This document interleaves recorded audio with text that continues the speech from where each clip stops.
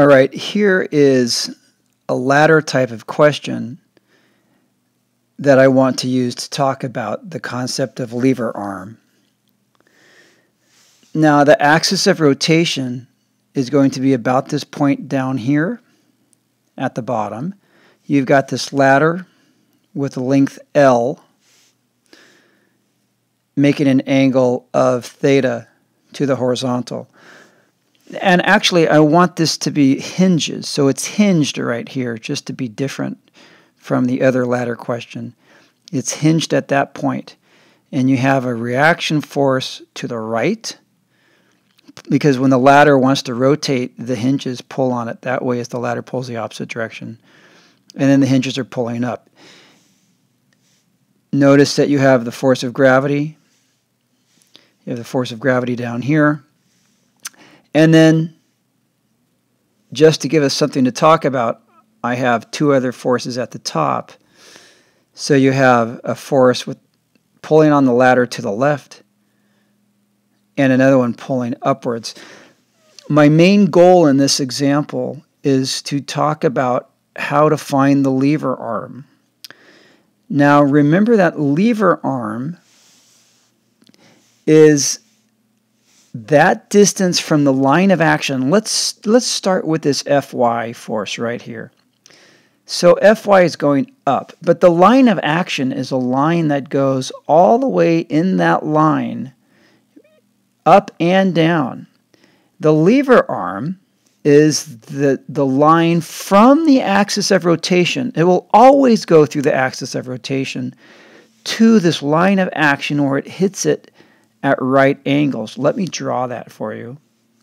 I'm going to change colors. So here is the line of action for Fy. So the lever arm, I'll draw that in blue. Now we'll go for purple. That sounds nice. The lever arm is from the axis of rotation here. Notice that it makes a right angle. The lever arm is always from the axis of rotation out to the line of action, the line that the force is in, at right angles. Here's the lever, here's, there's the axis of rotation, here's the line of action, and there is the lever arm. Now, the question that many of you ask is whether you should use cosine or sine to find the lever arm. It's easier if you just look at what the lever arm is and then use trig to find it. This distance, which is the length of the ladder, is the hypotenuse of the triangle. I need this value, again, from the axis of rotation out to the line of action. And because I know this angle here, I'm going to use cosine. So the lever arm will be, that's we use the letter R for that, will equal L, the length of the ladder, times, in this case, the cosine of the angle. So to find the torque,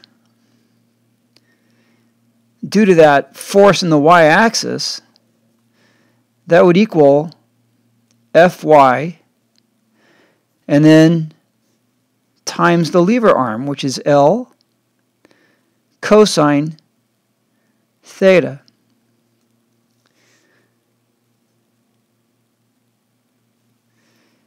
Let's, whoops, I'm going to get rid of that. Let's pick another one.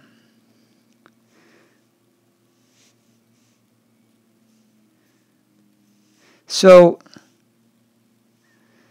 let's say we want to look at the lever arm due to Fx up here. Well, here's the axis of rotation down at the bottom. And Fx the line of action is anywhere along here. The lever arm is a line always drawn from the axis of rotation, in this case up to where it intersects that at right angles. So again, I think I'll use the color green for that.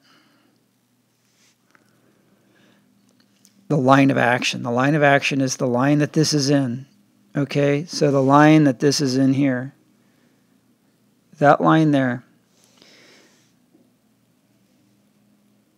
The lever arm is going to go from the axis of rotation up to that where it strikes it at right angles. So the torque due to this Fx, which by the way would be counterclockwise, right? Because it's pulling it that way, that direction. That's a counterclockwise torque. I forgot to mention earlier that this Fy is a clockwise torque because it's pulling it that direction, that direction. But we're down we're talking about Fx. And so Fx pulls it this way to find the value of the, the lever arm R, again, that's, that's this value here for fx. R equals the length of the ladder times, well, wait a second, where's your angle? My angle is right here, right? This angle is the same as that angle there. So there's theta or I could use um, 90 minus theta if I wanted that angle there. Uh, but anyhow, L, length of the ladder, times the sine of, sorry, yeah, times the sine of theta, right? That would give me this length right here. You know, that's the, that's the lever arm going from the axis of rotation out to um, the line of action. Now, the very last one that has a, a, a lever arm and a torque is this force of gravity. And the force of gravity acting down here, that's going to be a counterclockwise torque because this is going to go about the axis of rotation this way, right? It's pulling down to the left of the axis of rotation would make it go counterclockwise. And this line of action is in the same direction as the force. So there's your line of action down there. And then your lever arm